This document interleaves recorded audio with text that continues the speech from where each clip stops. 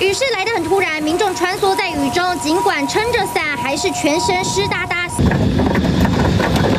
有人即便拿着伞，还是没有勇气走出屋檐，就怕脚会泡在水里，干脆躲在骑楼等雨势小一点。开车上国道，滂沱大雨也严重影响行车视线，能见度相当低。雨刷上工，刷不停，还是没用，根本被雨覆盖，白蒙蒙一片。车辆行进溅起水花，驾驶只能放慢速度行驶，避免打滑发生危险。不止台北、新北中和也瞬间下起暴雨。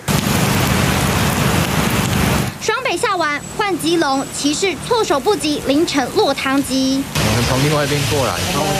基隆市七堵区明德三路附近的涵洞，甚至已经积水，车子轮胎泡在水里，动弹不得。远警到场拉起封锁线，赶紧排除状况。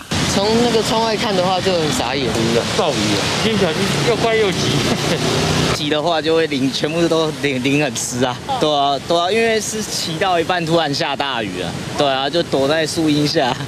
雨来得快，去得也快，但就怕又下雨。骑士干脆把雨衣放在脚踏板上，因为对流发展旺盛，容易有短延时强降雨，时不时还能听到打雷声。北市部分行政区最大时雨量有机会达五十至六十毫米，市府也通知六区提高警觉，随时应变。十八号下午两点开始，气象署陆续发布大雷雨及时讯息，包括基隆、双北、桃园、台中、南投。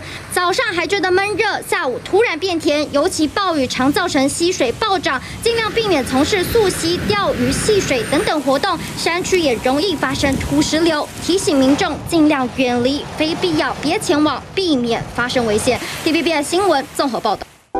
想看最完整的新闻内容，记得下载 TVBS 新闻网 APP。